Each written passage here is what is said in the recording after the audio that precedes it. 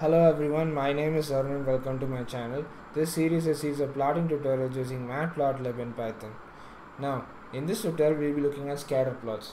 Now, scatter plots helps us to visualize data if there is no connection between the input and the output variables and uh, you just want to fi figure it out by plotting it first.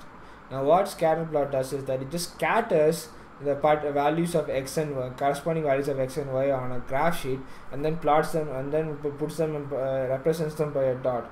For each and every value of x you will get a corresponding value of y and it will mark it mark it with a mark it with some kind of a marker.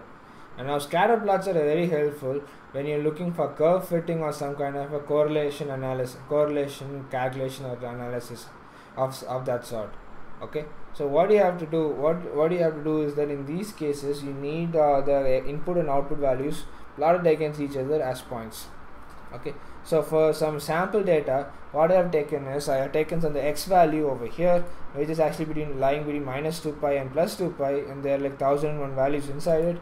And uh, I created a y value okay which is actually the sine function sine of this x value. And along with that I added some random noise random noise okay that noise is actually a, uh, given by a normal distribution whose mean is centered around 0 and standard deviation is, is, is, is 1 and there will be 1001 values in values and they just carry to the sine function.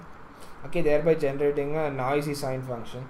So if I just plot this up over here we use plt.plot although I should although this you don't need to okay. If I run this you get a, such a messy messy curve over here and if I zoom this out you can clearly see there's a sine curve over here no question about that okay? In other case in, in an actual real-time scenario instead of having a proper design function the connection between x and y could be enter very different. Anyway moving on further you don't need this plot line anymore. Moving on further to plot them in a I mean to get, put them in a better way so that we can use some kind of a curve fitting or core uh, correlation uh, calculations we need to plot them uh, using scatter. What scatter does is that it takes the x, x values and marks the corresponding y values as dots as dots on the uh, in the under the figure. So just to give an idea so this is how it looks like. What it does is it takes each and every value of x and then uh, and then it plots the corresponding value of y on the plot using a dot using a dot like this okay. And now there are a few correction conditions that you can do to make control it properly. So this is actually the default setting wherein you just pass x and y and that will take care of it. And if you're like if you want to go and uh, go and uh, how do I how do I say want to customize it a little more you can uh, by on some simple addition that you can put is you can add actually add a label and a marker and then a and then a color now earlier when we drew when we draw this the color we obtained was blue. The color we obtained was blue and then the marker was actually and the marker was actually round. And now what we're going to do is that let's change that up. Change that up add a label and then I'm putting an asterisk marker and then the color I'm putting give it giving it the color with the attribute C okay? Here the attribute color attribute is actually C.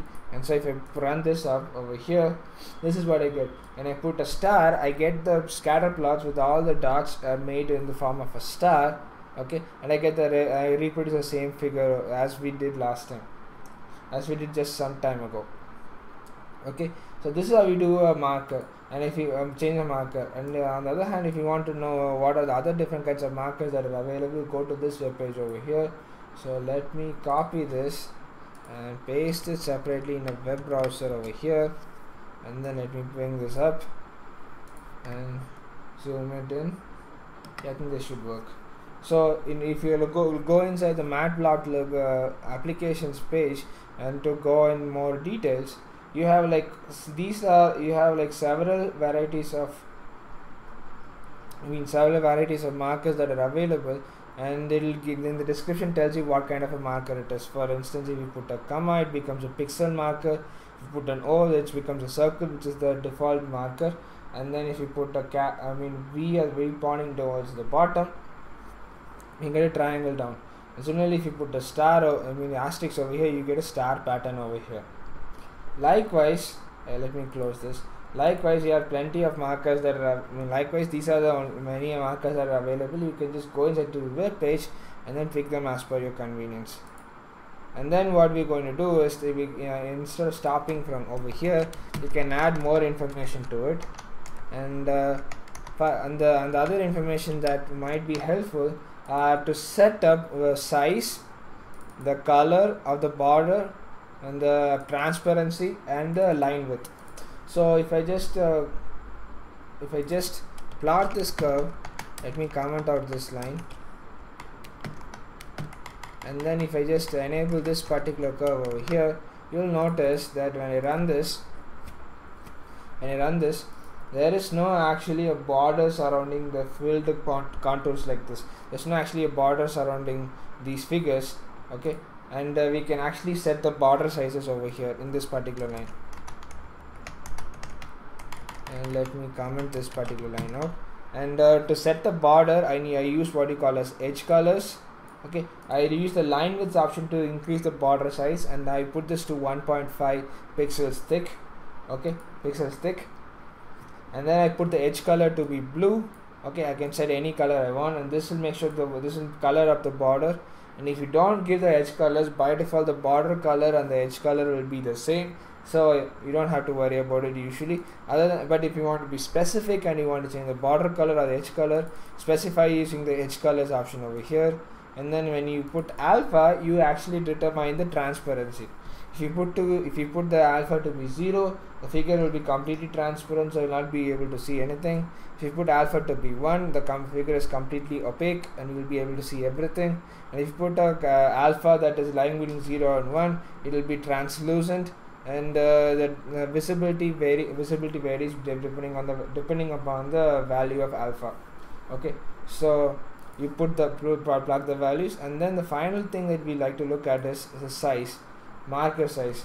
And uh, unlike the other ones marker size is in area area of pixels.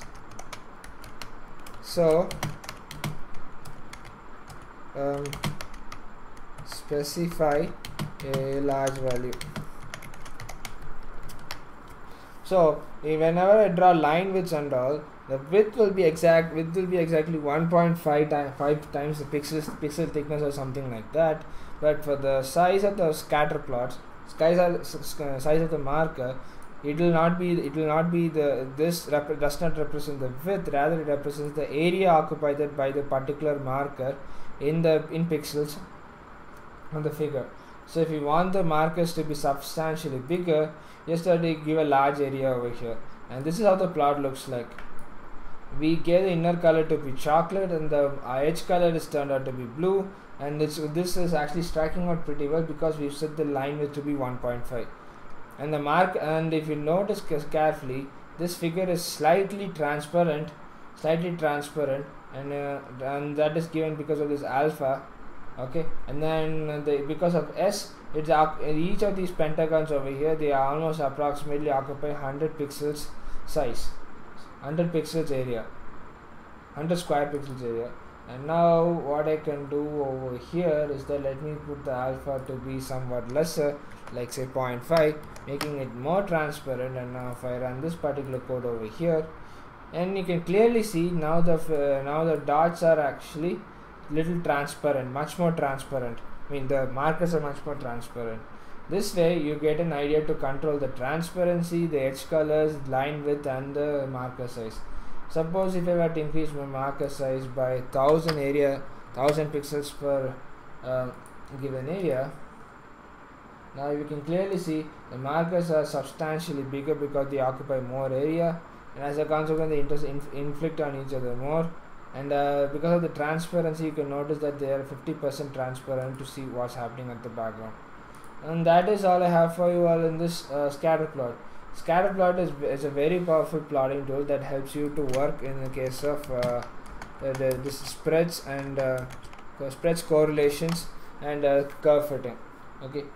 Now that's all I have for you all in this video. Thank you for watching and I'll see you all next time in another interesting video. Till then take care